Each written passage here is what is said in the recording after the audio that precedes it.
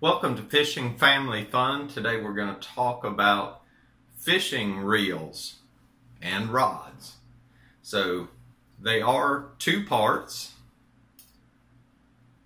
This is a spinning reel and this part of the reel actually spins around and puts the line back onto the spool.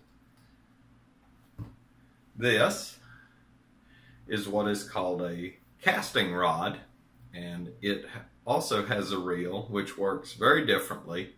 Uh, the spool itself turns and puts the line onto the reel and when you cast this spool actually physically spins uh, letting the line come out. As a beginner the first thing I want to point out is that the rod and reel almost always can be separated. So you can buy a reel that you like and a rod that you like and mostly if the size matches, you know, you don't get a really big reel and a very small rod or vice versa. Um, usually you can interchange those. So you see the, the reel here uh, comes off. This happened to be one of the rods and reels that we bought as a combo. Uh, a lot of stores offer combos where you can buy the rod and the reel together. Essentially, what is the difference between a, the rods themselves? What's the difference between a spinning rod and a casting rod?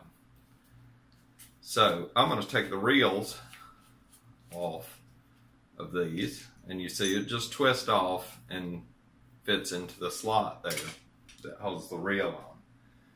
And this is the casting rod.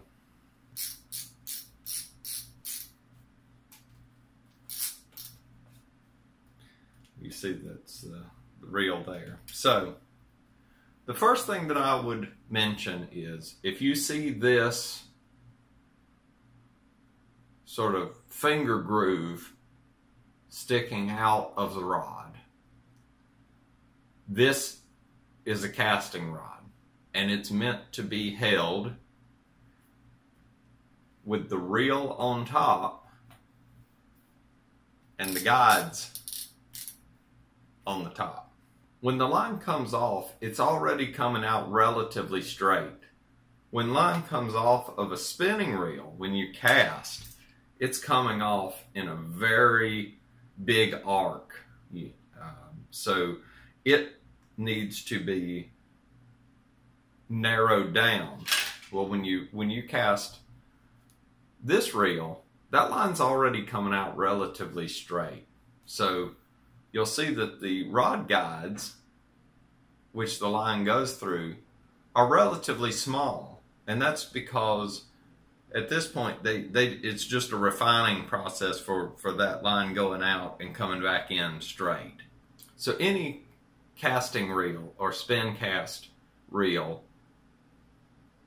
those will go with rods that have this finger groove. And again, it's going to sit with the reel on top and also the rod guides on top. And this is important because the rod construction intends for these rod guides to be uh, on the top. But you're always reeling forward.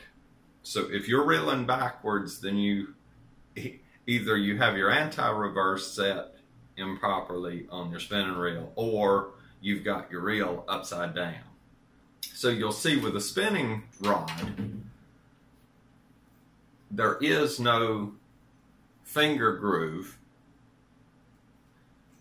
but the reel itself, when it's placed on the rod,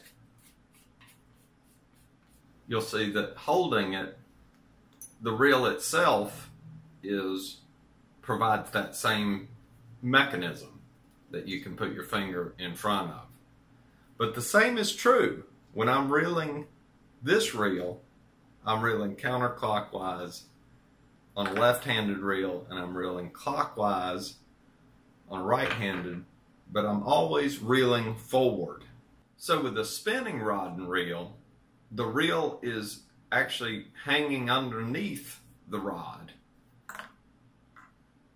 as are the line guides. the rod guides are on the bottom of the rod. And as you, we talked about earlier, you'll see that the guides themselves are very large, you know, to sort of get that line under control and coming off straight by the time it gets to the end of the rod. And of course, allow it more room, you know, to rotate to come onto the reel smoothly as you get closer to the bottom here, to the bottom guide. Another couple of features that I want to share uh, that may be helpful to beginning anglers. If you see this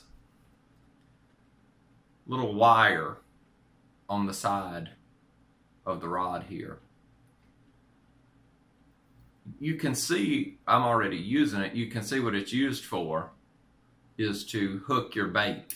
This is not to be used to run your line through or or anything else. That's that's what this the purpose of this wire, and it's very convenient to have.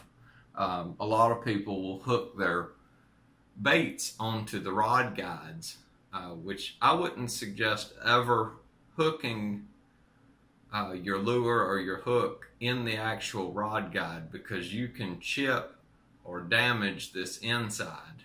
If you absolutely have to, uh, I would recommend actually hooking it on the arm of the rod guide. But again, optimally, if it's available, these little hook holders are, are very convenient. They'll keep you from getting, uh, if you have multiple rods, you won't get tangled as much. And of course, you know, walking on the bank, moving around, essentially going anywhere makes it, it's a lot easier if you have a place uh, to get that hook and on this particular rod, uh, you know, it's, it's very nice because this hook, it's very hard to even catch it on anything. Thanks for watching. I hope you enjoyed it. I hope there was some valuable information. If you enjoy our channel, I hope you'll subscribe. If you have any questions, please leave them in the comments below. Thank you and have a blessed day.